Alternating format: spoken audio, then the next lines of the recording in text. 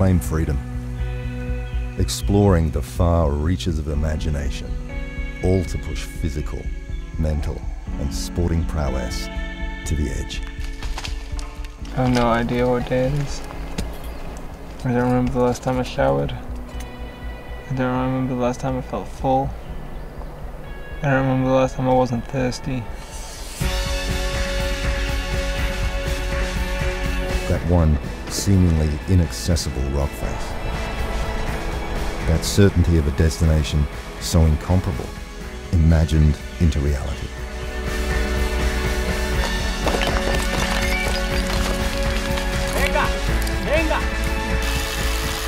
An outcome not measured by results, but by a journey that will inspire and challenge even the most accomplished.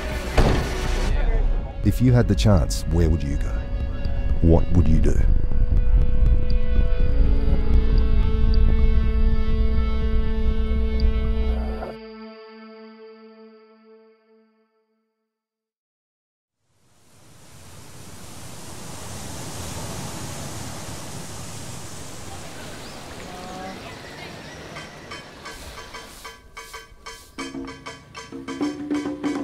My name's Gareth Leah.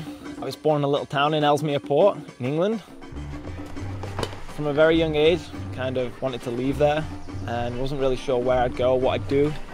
So I've spent the best part of a decade now just traveling the world, pretty much purely motivated by climbing destinations. I'm really motivated to, to go places that either people say you can't go or are so hard to get to that very few people can. Purpose of the project was to climb this peak called Pico Cao Grande in Sao Tome that was relatively unknown. Before we got here, I actually didn't know where Sao Tome was. Turns out it's south of Nigeria, kind of in the, the armpit of Africa. I kind of had an idea of what it was going to look like. I'd seen jungles, I'd seen like plantations, I'd seen like cultural stuff like dances and the clothing, but nothing really prepares you to see like the island and how it is. It's like you're coming into landing at like Jurassic Park or something.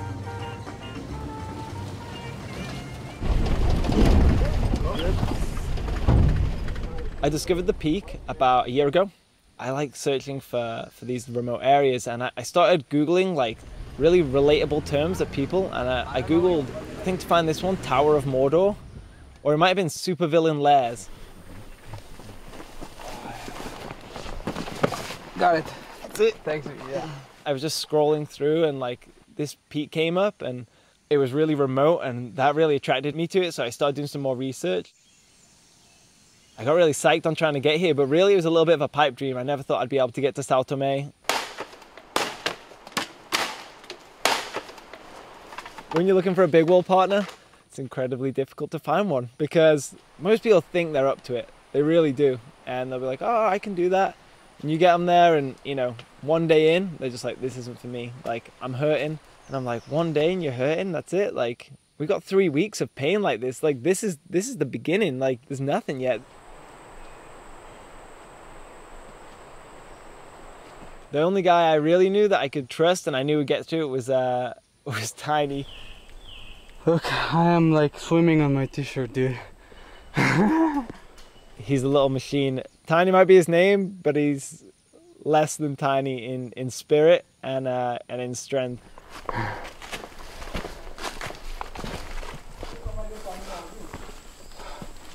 Yeah.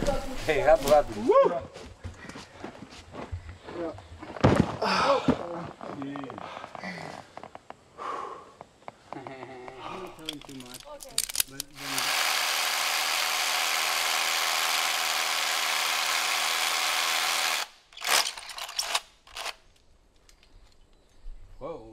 Está muy sólida. Sí. La piedra es muy dura. Muita dura. Muy dura, sí.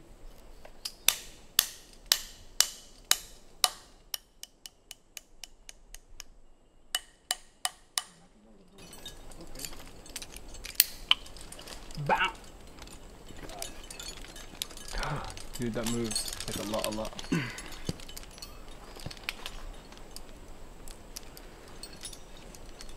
Alright, it's okay. He's good, dude.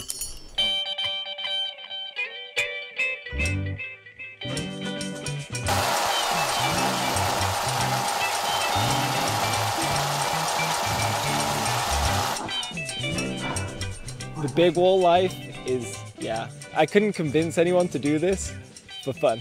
It's something you gotta wanna do because I don't think if you tell someone you're gonna be stinking, hungry, hurting, thirsty, and scared for weeks on end, you can't really sell it. Climbing walls has like a really strange reward to it. It's not something you, you achieve necessarily immediately, and it's not something that you feel all the time. It's the experience, it's, it's the journey. You're living this journey that is really pushing yourself physically and mentally. And because of that, I think I come out a better person after each one.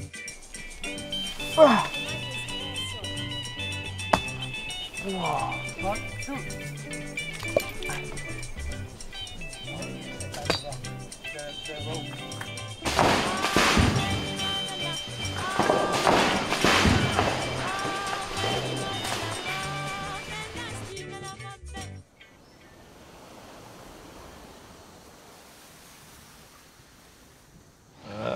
the capacitors on the circuit board just fried because the humidity had got inside. These power the drill batteries and they're fried. Yeah, we're going to dry out the chargers and I don't think we're going to go to the wall today because this is a, Big concern. a big concern.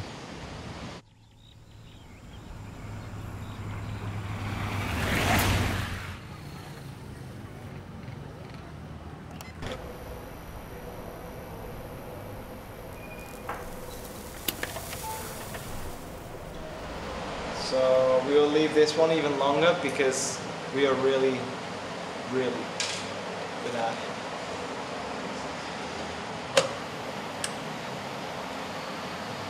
Wait, wait.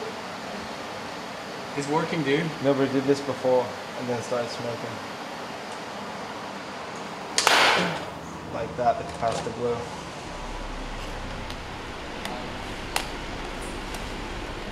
Our entire trip is right there. The entire expedition sits right there, drying.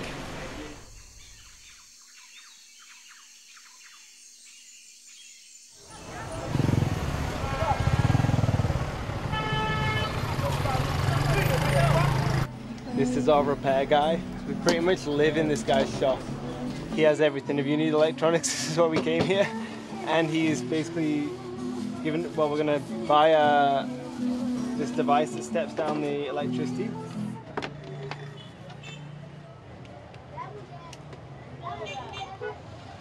Can I try it?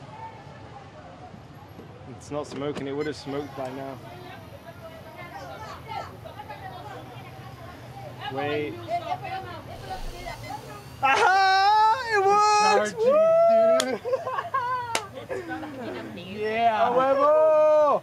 Finally. English device with I don't know where this is made.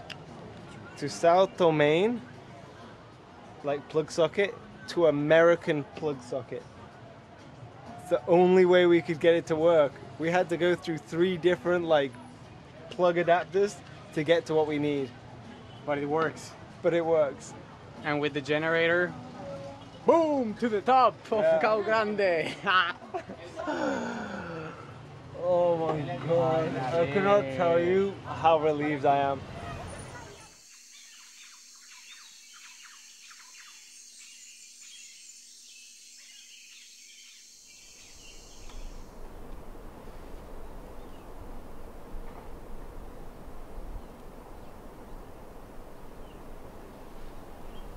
um. What? You're scared?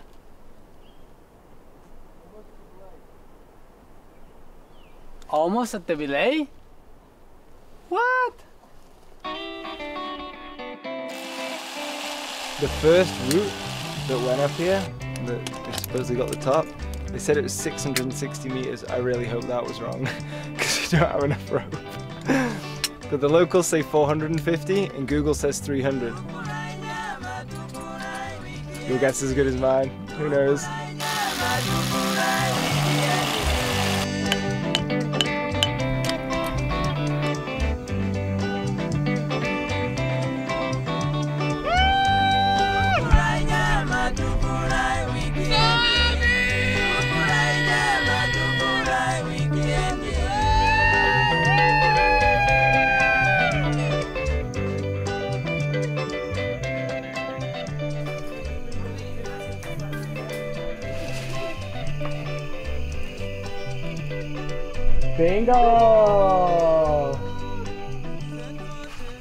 Amazing. I thought it would never happen at one point.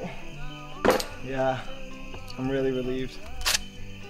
It's been way more than we thought. I was expecting like a 12 pitch climb and the peak's probably like, the route's probably almost 500 meters rather than the, the 300 that we were led to believe.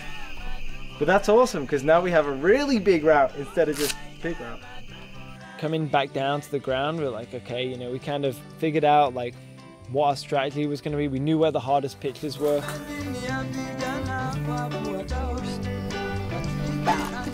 The first four pitches are in a really steep roof, so we knew like that was going to be the meat of the the route. You know, like it's going to be really hard.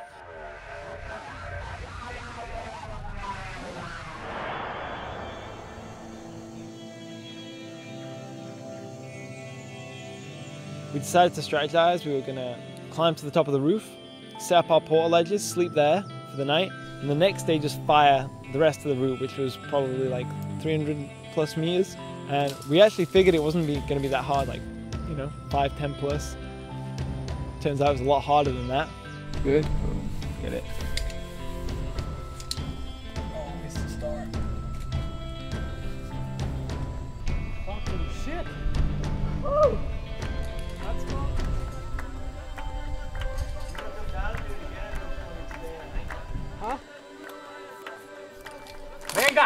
Venga.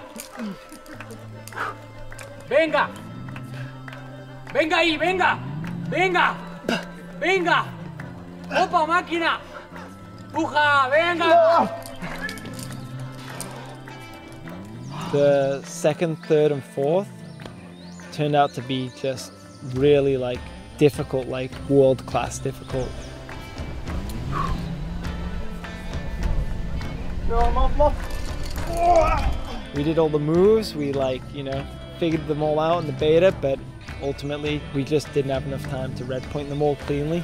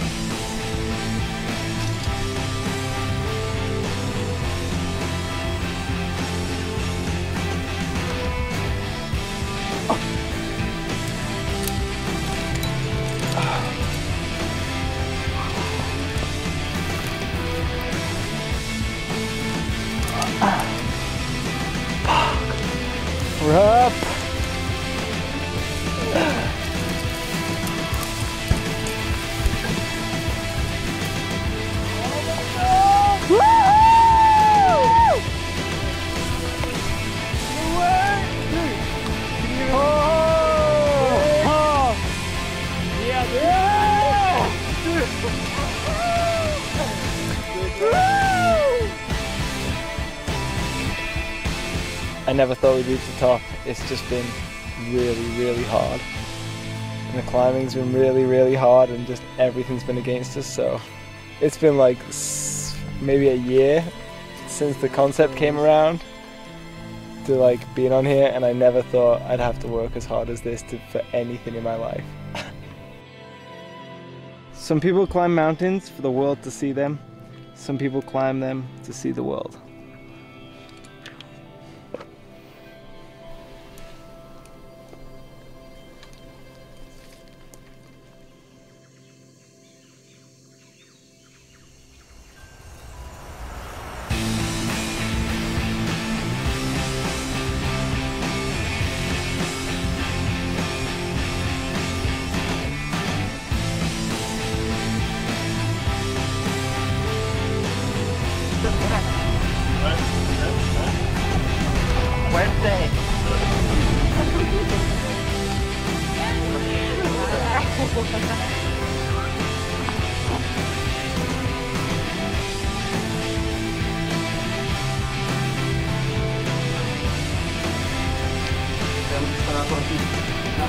Giano, eh, molto costoso.